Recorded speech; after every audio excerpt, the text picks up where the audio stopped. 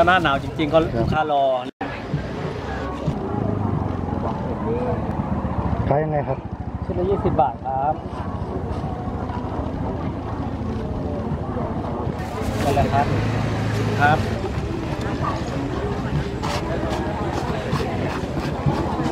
เราตามชิ้นครับเอาไก่หรือว่าเอากล้วยครับ อันนี้กล้วยเหรออันนี้กล้วยครับเป็นกล้วยทอดโมเลน แต่ตัวนี้เป็นไก่เขยาว ขายคู่กัน พี่จะเอาไก่เขยาว30 หรือว่ามานั่งฟังกล้วย20ไหมครับนะเอาอย่างนั้นเนาะครับไก่เขยาวนี่เอารสอะไรดีครับเอาวิงแซบจะจัดจ้านดี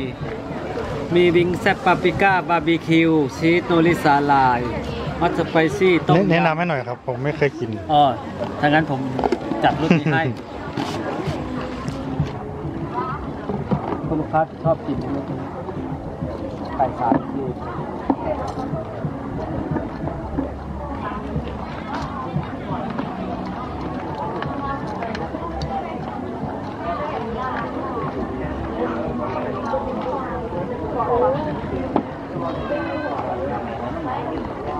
อันนี้ไส้อะไรครับ อันนี้ต้มยำครับเอารสต้มยำให้เพราะต้มยำเป็นคนนิยมครับ มีต้มยำกับวิงแซบคนจะนิยมกิน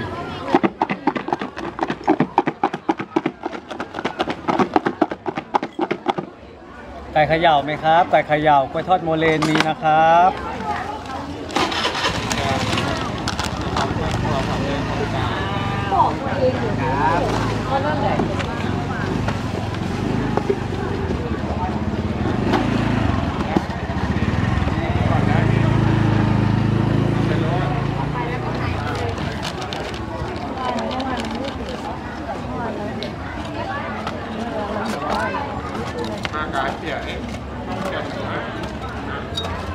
ทอดกับแป้งเหรอครับ แป้งนี้จะไม่ได้ชุบนะครับ แป้งจะเป็นสูตรพิเศษของเขาเลยที่ถ้าพูดกันตามภาษาบ้านเราก็เป็นแป้งมะพันกล้วยอ๋อ